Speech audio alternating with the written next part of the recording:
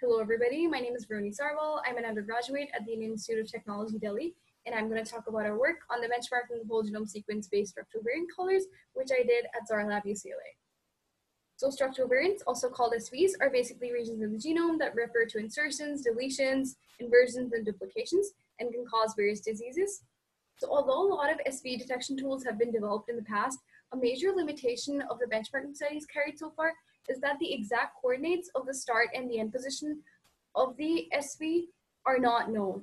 And hence it makes it very hard for researchers to choose appropriate SV tools. Hence in our study, we run 15 different SV callers on our dataset, and then we compare the deletions detected by each of the SV callers with the deletions present in a gold standard dataset, which is basically a comprehensive PCR verified dataset in which the exact start and the end positions of the deletions are known. And then we, we evaluate which tools have a good balance of precision and sensitivity. So we first compare the number of deletions detected by the tool with the number of deletions in the true deletion sample. So we see that there's a huge variation all the way from around 900 in Nominer to 82,000 present in GASV. We observed that around half of the tools report fewer deletions than are actually present in the true deletion, while the remaining half predict a larger number of deletions as compared to the true deletion dataset.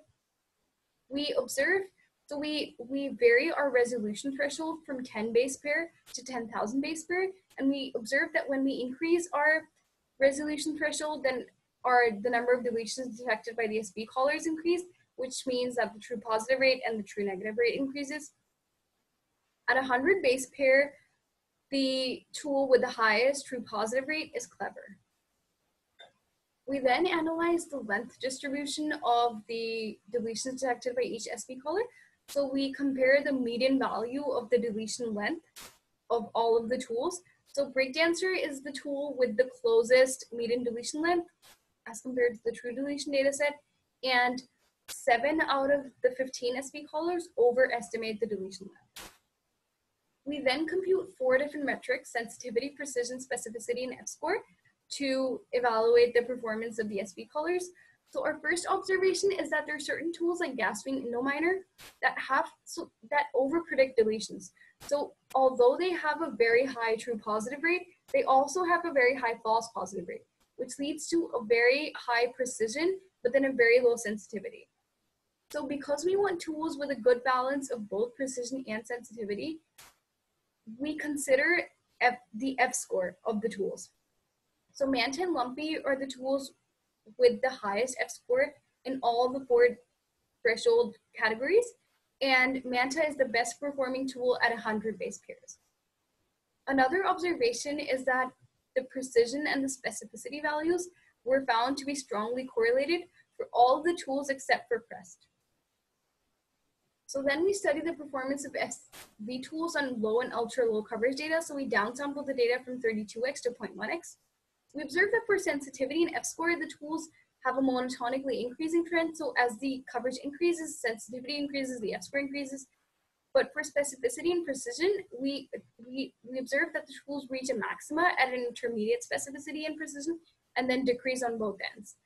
So for the F-score, DELLY has, a, has the highest F-score for all coverages 4x and below, and Manta is the best performing tool in terms of F-score for coverages from 8 to 32x.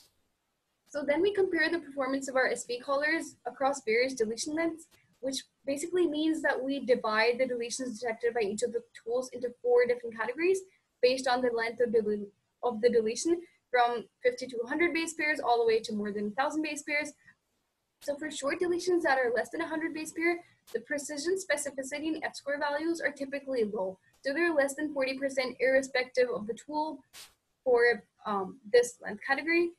For deletions less than 500 base pair, Manta and Crest were the only two tools to have a high specificity value, and all of the other tools actually had a very low specificity.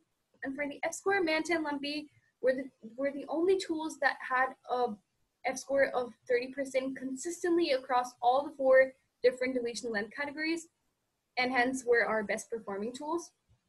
So a preprint of our paper is available on bioRxiv. I would like to thank all the co-authors of this paper, and thank you.